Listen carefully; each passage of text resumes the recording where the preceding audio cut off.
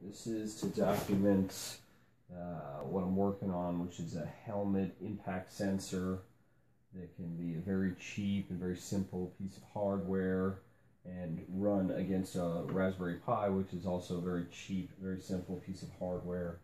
So you can have a whole team wired up to see who had achieved, you know, a certain amount of thresholds applied to their body. Okay, this is the piece of hardware I'm using right now. It's an Intel Edison. It's got a small battery pack, accelerometer, and another circuit that I've made a little board that essentially just operates a single LED. Uh, what it does is it it's continuously measuring the accelerometer, and if in any direction you uh, feel the force of a certain threshold, right now it's set at 2 Gs just to make it easy to achieve. Um, so I can just kind of shake it, and you'll see that the LED lights up. And this is connected to the Raspberry Pi, and the Raspberry Pi sees these values coming through because it's using two Node.js services, and this was, one's publishing data that this one is picking up. Um, I'm also outputting that data to any socket IO uh, devices that are connected.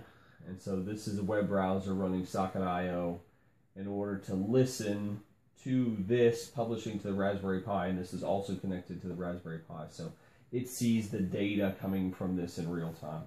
So again, to show that data, uh, I'm going to shake this, and you'll see the LED light up, right? And you'll also see that that data has been published out to this web browser that's connected to the Raspberry Pi, and you can see it's displaying both X and Y axes data and it, it saw all this data coming through.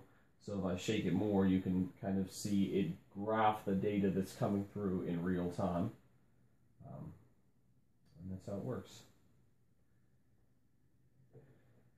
It's running on the Intel Edison. This is just a simple Raspberry Pi because it's using PubSub and not a lot of data because it only sends the data that passes a certain threshold. Um, you could make it very, very inexpensively and have a whole team publishing just to a single Raspberry Pi using Node.js and Socket.io. Alright, thanks for watching.